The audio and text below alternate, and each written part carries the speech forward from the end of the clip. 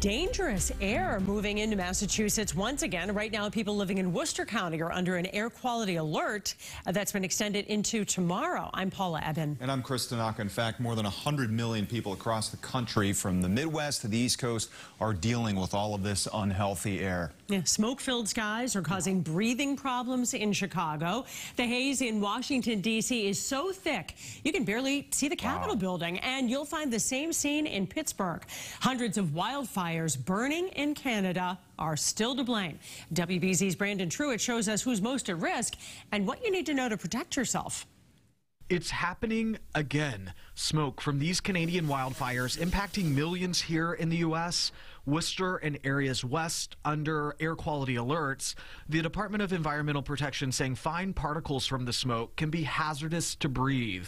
Air pollution is certainly a risk factor for a number of diseases. Dr. Michael Osborne works as a cardiologist at Mass General Hospital and says this moderate risk becomes most concerning after days worth of exposure.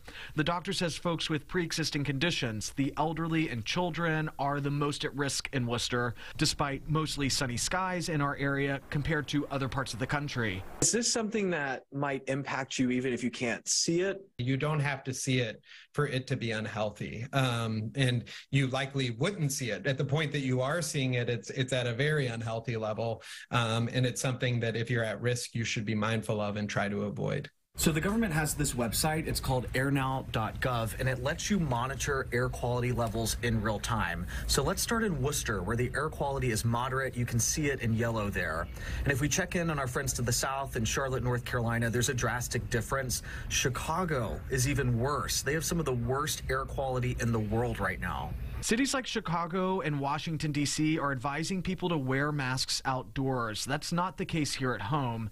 The Department of Environmental Protection saying our humid weather is not holding onto air particles more than drier days. Dr. Osborne says if you start experiencing a shortness of breath or watery eyes, it's time to limit your time outdoors. Brandon Truitt WBZ News.